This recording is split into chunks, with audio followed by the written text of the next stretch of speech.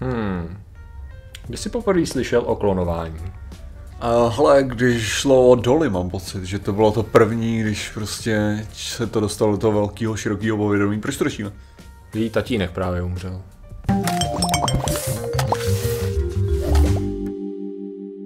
Zdravím lidi, já jsem Martin Rota, tohle je Patrik Kořnář. A pokud máte pocit, že celý tento pořad je nějaké spiknutí, tak to je přesně kvůli tomu, že to je sponzor. Sponzorem je totiž vědecké kladivo, které řeší mnoho různých spiknutí a tak a nikdo jiný nedokáže řešit spiknutí tak kvalitně jako knížka Vědecké kladivo 3, která je nyní k objednávce a prostě neexistuje nic, co by dokázalo. Jako já tam ty spiknutí tolik neřeším, ale ono je to tak málo se řeší věci o spiknutí, že prostě nikdo o tom nemluví pořádně, že jo? takže i ta moje knížka je v tomhle ohledu asi to nejlepší zdroj, že jo, Patriku? Já už jsem asi trochu z formy, ale tohle, ačkoliv mi to furt přijde lepší, než pracovat, tak tady ten tlak mi přijde naprosto retardovaný. OK. Takže samozřejmě hledejte Patriku v kanál Spiknutí. No a dneska řešíme. Dneska, já jsem se zapomněl. Dneska, Martine, řešíme, uh, no, zvířátka. Řešíme právě to, tu dobu na konci 90. let, kdy celý svět byl šokován něčím, co mohlo, mělo rezonovat jako největší biologické téma dlouhá desetiletí. Úplně se to nestalo, ale bylo to sexy téma, takže strašně moc. A řešíme to právě proto, že eh, Sir Ian Wilmut, což je teda člověk, který byl zodpovědný za jeden z právě jako nejznámějších vědeckých featů, no, to bych to řekl, um, úspěchu, úspěchu, tak uh, posledních dekád, uh, který vlastně naklonoval tu ovci doly mimo jiné, uh, tak zemřel teď právě. Takže my jakoby zvedneme, zvedneme uh, zvedátorské hrnečky a alchemistrovské číše. Jo, jo. Já jsem to řekl jako Já ten, řekl jako to, na něj cink, tak pozvedněme číše. Já jsem vím, že to řekl jako otec, ale tak ona byla jako naklonovaná zároveň ne, geneticky upravená byla ta poní, ona byla, ona byla naklonovaná ovce právě z určitého typu buněk, které nebyly embryonický, takže super. Uh, no, takže jako uh, budíš, budíš teda doli. Byl to rok 1996. Počkej, jaký mo ovce, že byly? To jsi řekl? Cože? Já že ty jsi, ty jsi řekl nějaký, že ty... On naklonoval víc oveček a nejdřív, první nějaký v roce 95, dvě, to byla jakoby jiná funkce, že v roce 96 bo, uh, pol, uh, poli, doly. Doly byla jiná v tom, že byla naklonovaná z jiných typů buněk než ty předchozí. A v roce 97 naklonoval ovečku, která byla jak klonovaná, tak geneticky upravená. Což jako Já jsem, já jsem myslel, že jsi tam řekl ten typ ovce, jako že, že jaký byl. Ježiš, Ne, ten, ne, že... to jsem neskoumal, to jo. Ne, to je jako já jsem, já jsem měl pocit, ne. že jsi, Jo. že jsi řekl nějaký edinburghský nebo to, takže já jsem jenom... Jo, on, je, on je z Edinburghu teda. Jo, ok, a, Edinburgh, ok. a- Edinburgh, přesně tak. A byl, byl, byl pasován na rytíře za, své, za, svý, za svůj přínos vědě. Což je mimochodem první jako věc, co by stálo za to. On se věnoval tady té tady tý oblasti, eh, řekněme, zvířecí biologie a klonování, eh, v podstatě od školy. To znamená, že on jako už na střední nějak řešil, jako že buď půjde na nějaký výzkum ohledně eh, zemědělství, nebo jestli půjde na zvířata. A v podstatě inspirovalo ho k tomu, co jako následně dělal nějaký učitel na univerzitě. Že vyloženě prostě tady je vidět, že dobrý inspirující učitel je schopný naklonovat ovci, aniž by to sám dělal.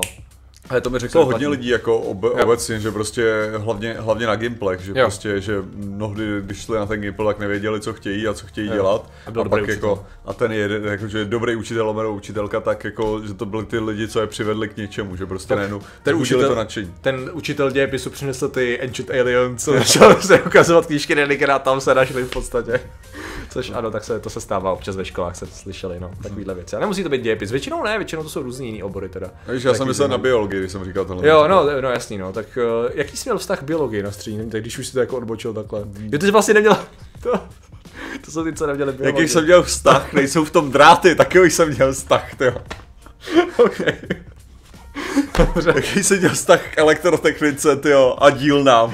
já jsem zapomněl, já jsem to neuvědomil, no. Ach jo, mě jste to, že spousta a co ty, a co, co to, uh, co vy- jako architektura sítí, tak jak jsi k tomu měl vztah, když jsi to dělal. Občas jsme měli hodinu oboru. počítačů, no. Párkrát jsem na ní hrál CS a uměl jsem nějak základní věci, no. Jo, a, a počkat, a ta, programování mikroprocesorů, jak tě to Slyšel bavilo? jsem, že A to- existují mikroprocesory, ano, ano, skutečně. Tak dobrý, tak jako když, když tady se budeme bavit o tom, jaký měl kdo vztah, jak Ale učili jsme se, učili jsme se z takových těch, uh, byly jakoby houby a rostliny, atlasy, my jsme je museli umět česky a latinsky a všechny svaly v těle, Oh. česky a latinsky a cévní soustavu a kosti. Hmm. Nic. Ano, byl to Gimple. Uh, no nic, uh, takže takovýhle vztah jsme teda dělali. Nejsou v tom dráty versus PTSD ze slovníčku, super. Takže tam jako úplně, já teď jako přemýšlím, jestli mě někdo inspiroval, když na té střední, jako jestli tě nějaký inspiroval učitel, což je to furt součást tématu technicky za to, takže jenom jako Jo. přemýšlím, jestli byl někdo, kdo vyloženě, možná jako de, de, deinspiroval, ano, ale že by to byl skutečně člověk, který by mě vyloženě inspiroval, možná jako na základce učitelka dějepisu, ať ještě nebyla hrozně fajn. Tak tam jako jsem jako cítil nějakou inspiraci? Jako ne, já jsem měl pocit, že jako moji učitelé obecně byli v pohodě samozřejmě, ale neměl jsem nikdy jako pocit, že by mě jako k něčemu konkrétně jako dovedli. Jo. Ale hlavně to si myslím, že bylo kvůli spíš tomu, že já jsem měl představu, co chci dělat. jo. Jo, jakože prostě jsou ty lidi právě, kteří potřebují asi tu inspiraci, aby se někam dostali. Když to jako u mě to bylo, jo, já chci prostě uh, být programátor počítačových her, potenciálně jako potenciálně ten vývojář, víš, jako ten, ty, ty lidi, co do všeho kecají ostatním, jako, takže, takže naštěstí, jak vidíte, můj směr se no, prostě ubral Tolik her tím, co, Ale tak nějaký máš, ne? Měl si Jo, já jsem vlastně něco. Pár, pár her jsem udělal, no. Jo, jo. Hodně jsem jich nedodělal teda. Jasný, jasný. Pro změnu. šok, to je šok, no. A dobře. No, nicméně to, co, to, co právě pan Ilmut, Vilmu teda dodělal, je, že v podstatě pracoval v tom oboru, než se dostal k tomu vlastně objevu, který ho skutečně masivně spopularizoval, tak to trvalo 30 let kariéry. Tak jenom takový, že trpělivost, přátelé, můžete se stát světově známý. Potom, co jako nečekaně, potom, co se věnuješ velice pečlivě oboru, ze jeden z nejlepších věců, tak jako jsi schopný možná jako mít, mít eh, to, no, mít takovýhle jako do prvenství. Mě by skoro zajímalo, jestli to je tak takový to, jakože, jestli seš, jestli nejseš jako jak to nazvat, zastíněný, chápeš oh. tou svou prací, jako tím, jo, tím stylem, jako že prostě všichni budou znát jméno Dolly. Jo, to jo, no. Jo. Kdyby se mě a... zeptal předtím, než jsem si to začal číst, hmm. tak jako když tam bylo Ian Wilmut umřel, tak to bylo pro mě jako, teda, je to, jo, no, to bylo takový a potom a někdo Father řekne, ah. ale jo, ten, ten Sir Ian, si říkáš, jo, Kel, jo, jo, McKellen, jo. jasně, to je on. No, tak... To... A vždycky tak, a Mekle! Přesně. Je nezavitej to tady v tom.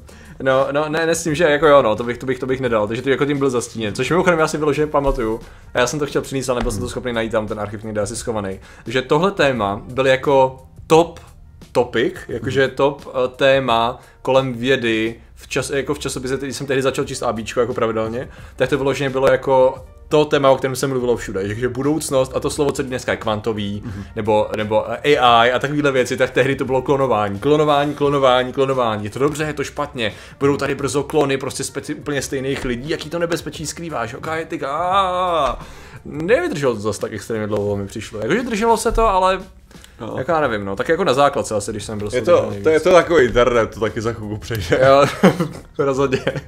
Co jako, jako je zajímavý, že on vlastně to mám, jako pak zasvětil jsem ten svůj život toho, že vlastně nešlo o to, že by klonoval ovce, že jo, for fun. Jeho záměr byl uh, klonovat ovce, nebo uh, vyvíjet a geneticky modifikovat případně ovce tak, aby produkovali mlíko, jehož proteiny budou schopný jako léčit nějaké lidské choroby. To byl jako záměr, který se občas povedlo, občas ne. A paradoxně on sám právě, jako když zjistil, když pokračoval čas a zjistil, že to není tak snadný, že pravděpodobně něco takového udělat bude jako trvat ještě dlouho. Tam bylo taky to nadšení v těch 90. že teď se to prostě posune nějakým tím směrem. A pak následujících 20 let v podstatě to bylo, no jako je to složitější, nebude to úplně easy. A vlastně jedna z těch chorob, proti kterým chtěl podobným způsobem bojovat, byl Parkinson. A on vlastně měl Parkinson sám jako, v, jako na sklonku svého života. Takže tam jako je bylo vidět, že uh, prostě kdyby se víc snažil. Když se jí snažil, aby to dopadlo dobře. Když dělal mír rozhovorů a víc času strávil v tom. Jo, takže poučení, přátelé, kdykoliv nepracujete, je to čas vyplejtvaný a zabije vás to, no pressure, no stress. Přesně tak. Ne, v žádném případě, jo. Užijte si svého života v laboratoři. Samozřejmě, kdo, kdo nepracuje v laboratoři, zase není to vyplýtvaný čas, že jo? Mm. Jakmile se nevěnujete kryogenice nebo prostě klonování, není to jako čas tady vlastně stahozený a ztracený. No, ale jinak, jako... mě, mě zaujalo na začátku, jak jsi mě vlastně zeptal, jako, že když jsem slyšel o klonování, Aha. nebo tak, tak je, je přesně ta otázka skoro je, Jo, jakože si myslím, že o klonování člověk samozřejmě musel slyšet předtím. Že? Mm-hmm. Jo, jako tím stylem, že ten koncept už musel existovat, co to jo, klonování jo, jo, je, že jo, v tu jo. dobu. Jako pro mě. Takže já jsem jenom se začal, jakože to moje myšlenky šly právě úplně jiným směrem, takovým Aha. tím jako, kdy jsi slyšel o jakých konceptech, že? když vezmeš jako, jak jo, jo. brzo člověk musel vědět o lítajícím talíře a mimozemšťanech. To je dobrá otázka, to si jo, jako, že, jako jestli v pěti letech se o tom naučíš, no, nebo to, že to bylo všude, že jo, v popkultuře, jako ve článcích, jako ve všem v podstatě. To je.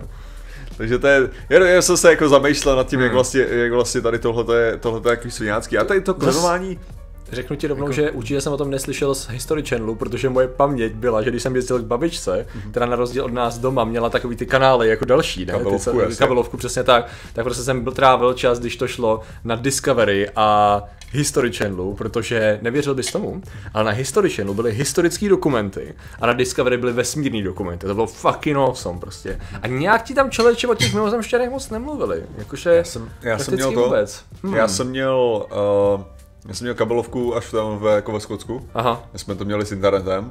No. A tam jsem to přesně, tam to bylo, tam to bylo to období History Channelu, kdy uh, neexistovalo nic jiného než druhá světová válka. Mm. No, to bylo taky zajímavý období, Ah, jako, okay. že prostě, že History, History Channel byl zhruba od roku 1937, dobře, Jo. pod válkou, do roku 1945. To je zhruba, to je zhruba ten úsek té historie, která Úplně to vidím. Hitlerovi zabijáci, Hitlerovi vědci, Hitlerovi ztracení věci, Hitlerovi poklady. Ne, můj nejoblíbenější, můj nejoblíbenější typ dokumentů byl ten, kdy prostě dokázali v CGI, jako CGI, prostě grafikou teda počítačovou, uh, vytvořit jeden záběr toho, jak Zero letí to- na, na, na ten Mustang, nebo co to je. Aha. A vždycky to bylo, ale v tu chvíli Zero letělo, a zase ten celý závěr, a to, to bylo 20krát použitej. A to je vyloženě, Budget is tight, no. to, to, to je samý, jako když máš prostě těch pár záběrů, co jsi zdal na to video a musíš ho používat čtyřikrát, tam pětkrát. To, v tom byly BBC dokumenty, že jo, zajímavý, protože oni často dělali takový ten, uh, li, jak jsem říká, no, že přehrá, že vlastně udělali tu reenactment takový, že vlastně byli o tom, že ta produkce vždycky byla o tom, že tam jsou byly, měli ty kostýmy, měli ty, měli ty, Opravdu. měli ty sety a tak. Nebyly nikdy moc masivní, ale byly. Celá upřímně, tahle ta verze je pro mě pod fotografií se zvukama. OK. Jo, jakože pokud si mám vybrat dobrý téma o klonování, co líbí se vám. Uh, ne, to, co, co se mi, prostě já raději Aha. mám fotografie, který se hej, bože mluví, nebo to, Ah, jako jo, který tohle, tohle to udělají takhle, než prostě člověk v levný paruce, No, musí který to být dělá dobře amerického udělaný, no. prezidenta. Jako. Já vím, jakože když to není dobře udělaný, tak to je shit, no. Jako, ale, Ale já si vra- právě myslím, že na BBC dokumenty měli tu produkci docela slušnou. A pak byla nepři- spousta z nich, který to je, dělali. Mně to nikdy nepřišlo, jako, to že já to si tak je, pamatuju, ale... že pro, zase pro mě to vždycky bylo takový jako, jako já vím, že to není to skutečný, Jo, že to víme všichni a že to je jako na to, o co se hrajeme. Já rozumím, jako Jo, tomu. že to je takový jako, Koncept, není to jo. ta skutečná věc a ve skutečnosti to ani nevyužíváte pro ten play potenciál, Jo, jo, jo. tak proč to jako děláte, jo, a většinou, většinou to bylo takový jako, no tohle rozhodně není Abraham Lincoln, jako ne, nepodobá se mu ani jako zdaleka, snaží se to a já říkám, proč, jako to stačilo mi říct, kdyby mi nějaký historik řekl a pak Lincoln řekl, bla. Jo, jo, jo, jo. jakože, že mi to přišlo, no, Chápu, chápu, chápu. Nikdy mě to tolik nenadchlo, Asi no. máš pravdu, že, ty, že to záleželo na dokumentu, no, že to mohlo být někdo cringe. E, jinak teda, Martin, který jsi samozřejmě byl ve Skotsku, tak si určitě navštívil Národní muzeum. Uh, jako v Edinburgh, jo, ve No. kterém jsem nikdy nebyl, jo. Ne, No, tak ne, ne, naší, jo. Aby si našel když dole, která tam je, která tam je, myslím, že tam je vycpaná, jakože tam je prostě, stále tam, stále tam i přesto, že už je uh, mrtvá a měla, měla několik těch, já jsem teď chtěl říct těch, dvě slova a ani jedno z nich nebylo správně, jo. Jedno bylo telátko a jedno bylo šípátko. Zkusil si jehňat. Jehňat, děkuju. Protože jako třetí slovo mi naskočilo jehněčí a to už bylo pozdě. Měl dokonce několik jehňat, no právě. Jako žili, žili docela v pohodě, pokud vím, jako, že nebylo, ne, nemělo to žádný jako extrémní dopady dál, no. Ale samozřejmě to, jestli, jestli něco víme, proti čemu se jako docela stavěl, um, tak uh, Sir Ian, teda, ten, ten jediný vědecký Ian, uh, tak to bylo třeba lidský klonování, že v tom vůbec jako, že říkal, že to je tabu, že jako tam jako nevidí, nevidí cestu a že v podstatě jeho cesta byla, hele, já se snažím tady využívat tady ty metodiky k tomu, abychom vyvinuli něco, co nám bude pomáhat jako lidem, a ne jako lidi měnit a dělat z nich zástup. A ne, už to slyšel a tabu. Tabu! Ale uh, to, co, to, co mě tady ještě jako přijde docela, uh, ne, si pamatuju teďka z QI, když se o tom bavili, Aha. uh, tak mi přišlo, přišlo zajímavý eh, strašně stupení teda, jakože ten důvod, proč jako si vybral ovci na to, aby byla klonovaná, No. tak je, že všechny ovce vypadají stejně, a že to nikdo nepozná. Smart. To, je, to je hodně smart, no, ty jo. že prostě, Oh, ty vole. Jo, jinak co? mimochodem on měl, a ne, vlastně nebylo to, teď nevím, jestli to byl stejný institut, nebo jestli on to udělal taky, a že vlastně, že to dělal i u kraviček mimochodem. mávej na sebe touhle dudu. Jo, děkuju, děkuju. Jo, jo. Je to, je to trošku lepší, no. Dá se to, dá se to lépe. Jsem ok. okay. v den, kdy natáčíme, počasí se rozhodlo, že se vrátí do, co to bylo, půlka července, já se nejsem jistý, do vrchol července, takže je to, je to, je to super, tak to nedám, děkuji. děkuji za zapuštění, no, e, nicméně teda to znamená, že e, vlastně takový ty, takový ty současný, nebo současný, když jsme řešili to lidský klonování v Číně, to už není současnost, to je tak 4 roky zpátky, co? To A je, nic, ne, nebavíme se, že klonování, nebyla to, nebyla to genetická to byla modifikace. genetická modifikace. Že přesně, To je ono, tyhle to ty věci jsou sakra, sakra Jo, se slučují, to je ten problém, jasně, protože tam zajímavý je, že v podstatě klonování jako přestalo být, pořád je to téma, a i teďka klonování je pořád téma, ale přestalo být takový to jakoby sexy, Hodně ono, řešený téma. Ono není z toho důvodu. Kvůli představě, jako, co to znamená, že? No ne, protože, protože jako klonování je jenom jako máš něco, co je dobrý geneticky, tak si toho uděláš víc. No. Jo. Akorát, že kvůli, kvůli pro, jako epigenetice si myslím, že jsme se docela dostali za to, že jsme zjistili, že a i díky klonování, mm. jako myslím, že tam právě došlo k těm velkým jako postupům v tomhle, že jsme zjistili, no a to není zase taková výhra, jako jenom, jenom to klonování, Jo, ty jo, genem, jo. že ta epigenetika ti to sakra jako mění, Jo, všechny tyhle věci, takže spíš, spíš se přešlo do toho, že je prostě nutný jako dělat ještě jiné zásahy a teďka mm. prostě ta genetická modifikace je to téma, i když samozřejmě genetická modifikace ne, že by nebylo téma před 70 lety, No, jo, jasně, jako, no. že prostě uh, jenom, jenom ty metody se zlepšily a Křížení momentálně je v podstatě to samý. dali se, jo, ale já jsem spíš mluvil o té, Ale o té, Cílený zásahy. o té, ne, ne, ne, ne, ten. ne cílený, ani já jsem mluvil o té radiační. Jo, takhle. Eh, protože v 50. letech, proto jsem řekl A, 70, a, ok, eh, ok, před ok. 70 lety, eh, kde se vlastně dělaly ty první, ty, ty větší experimenty a, no, experimenty, ono to šlo jako, udělali jsme experiment a hnedka šlo to do prodeje. Eh, takže to bylo, to bylo jako zajímavé, časy. zajímavé období eh, genetické modifikace skrze radia, radiaci. Ano. Takže... Uh, uranium fever. No a, ne, a dneska jsme, dneska jsme v té v fázi prostě CRISPRu, který jako umožňuje jiný teda jako možnosti a z toho důvodu prostě ten, ten element toho klonování samotného prostě není tak zajímavý, no. Hm, jo no. Takže samozřejmě, pokud si uděláte taková ta klasika, než pokud si uděláš klon, takže bude stejný jako ty, no, jako vizuálně v podstatě je šance, pokud se nebude vyvíjet v úplně jiných podmínkách a nejenom ten základní vizuál bude stejný, ale bude se dost měnit a bude mít řadu třeba jiných problémů, že jo. Bude mít stejný genetický predispozice na řadu věcí, ale možná z něj uděláš úplně jiného člověka, takže v podstatě jako jo, no, nevím, jestli řešil nějaký sci-fi armádu klonů, která jsou každý úplně jiný, jsou rozhádaný a nefunguje to. že vypadají stejně a jsou každý úplně z jiného prostředí. Těžko říct, ale to je, to je věc, která je uh, čistě po...